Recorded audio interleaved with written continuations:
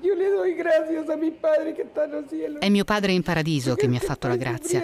Sto soffrendo, ma sono ancora viva e riesco a raccontarlo. Quello che ho visto non è bello da vedere. Quando mi sono voltata a vedere cosa accadeva ho pensato, questo non è un vulcano, questa è la fine del mondo.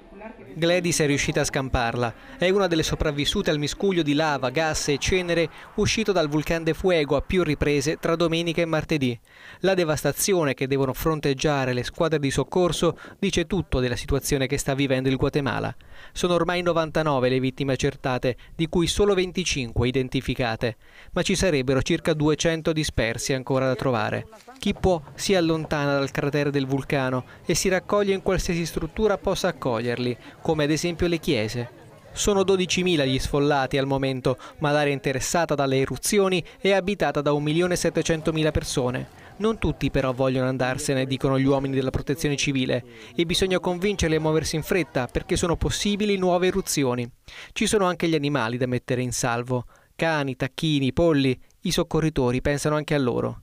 Altre squadre scavano metro a metro nelle città di El Rodeo e San Miguel Los Lotes, mentre in altri paesi si celebrano i primi funerali per quanti sono riusciti a trovare le spoglie dei loro congiunti da piangere.